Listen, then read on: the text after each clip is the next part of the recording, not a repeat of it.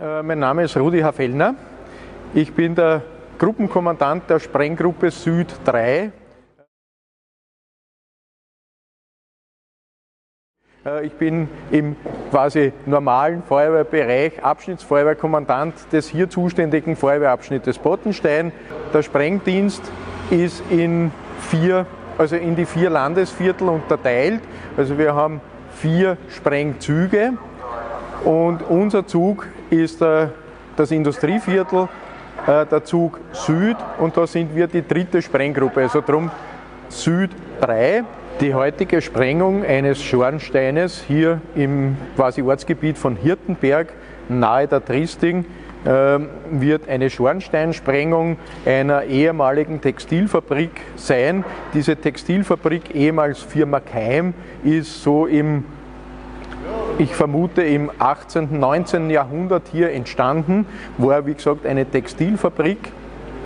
Der Schornstein, den wir heute sprengen werden, hat eine Höhe von rund 40 Metern und ähm, an der Basis, dort wo wir unsere Bohrlöcher anbringen, äh, eine Ziegelmauerwerkstärke von zwischen 1,10 Meter bis 1,40 Meter Wandstärke.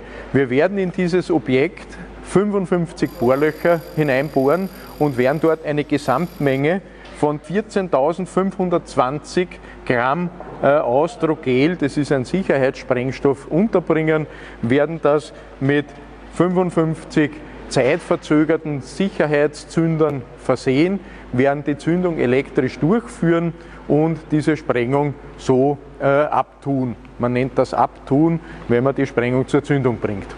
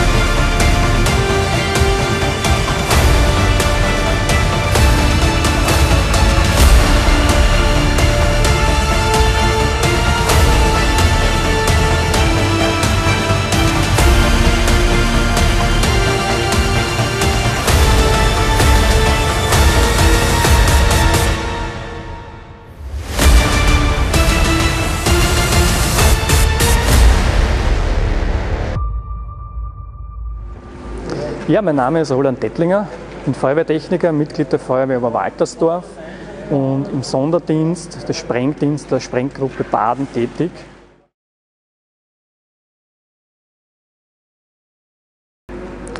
Wir Sprenggruppe Baden sind ein Sonderdienst des Landes Niederösterreich. Wir haben verschiedene Einsatzszenarien, zum Beispiel Retten und Bergen, Eisstoß, Hochwasser, Dammsprengen oder jede äh, andere Dienstleistung. Wir setzen uns aus verschiedenen Feuerwehren in ganz Niederösterreich zusammen. Wir Sprenggruppe Süd haben 50 Mitglieder aus dem ganzen Industrieviertel.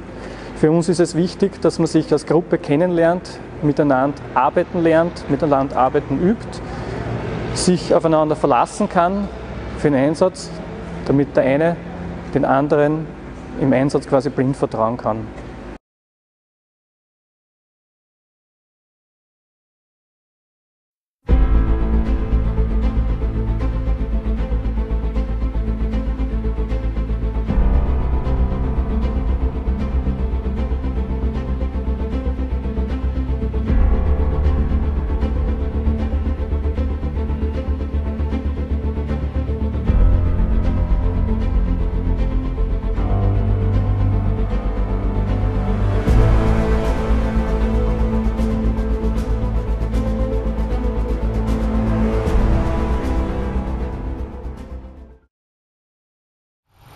Wir haben da unseren Schornstein, da finden gerade jetzt die Bohrarbeiten statt.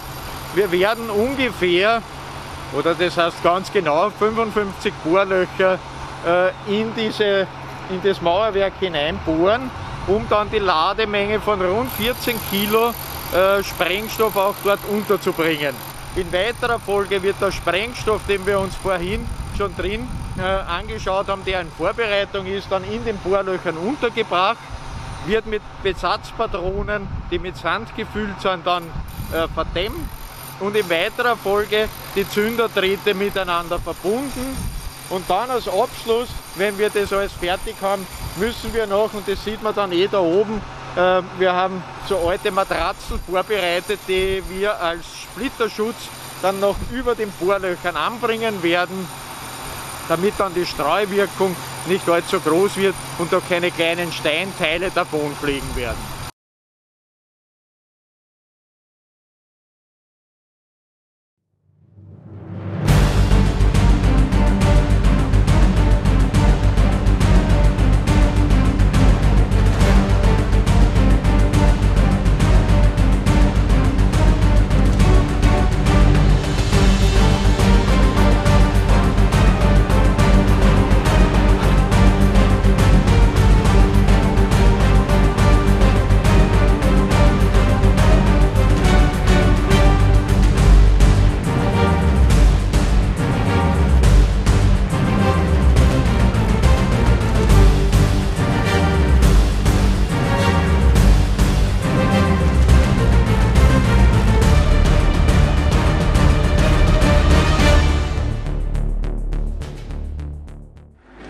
Zu den Vorbereitungsarbeiten für so eine Sprengung, die doch relativ umfangreich sind, äh, kommen zuerst einmal viele, viele behördliche Genehmigungen dazu, dass man das machen darf.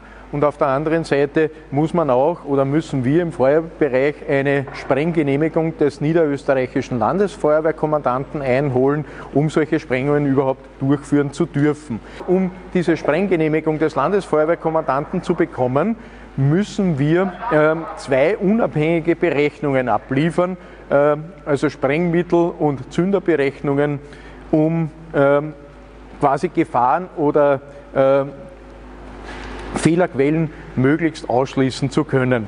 Äh, diese beiden Berechnungen werden von Sprengbefugten äh, unserer Gruppen dann durchgeführt. In diesem Falle äh, ein Sprengbefugter aus meiner Gruppe, der Gruppe Süd 3 und ein Sprengbefugter der Gruppe aus Wiener Neustadt, aus dem Nachbarbezirk, haben diese Berechnungen durchgeführt.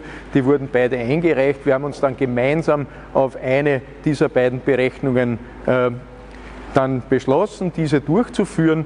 Nach einem vorgefertigten Bohrlochschema werden dann die Bohrlöcher in das, in das Mauerwerk äh, eingebracht und in weiterer Folge dann der Sprengstoff vorbereitet und in die Bohrlöcher geladen. Wir werden dann mit den üblichen Sprengsignalen, erstes Sprengsignal bedeutet Räumen des Streubereiches, auch die Sperren aufrecht halten, werden nach dem zweiten Sprengsignal unmittelbar die Sprengung durchführen und so gegen 15 Uhr sollte alles wieder erledigt sein. Äh, das dritte Sprengsignal gibt dann den Streubereich wieder frei und stellt die Sicherheit her und somit können wir dann im Endeffekt die Straßensperren bzw. Radwegsperren wieder abbauen.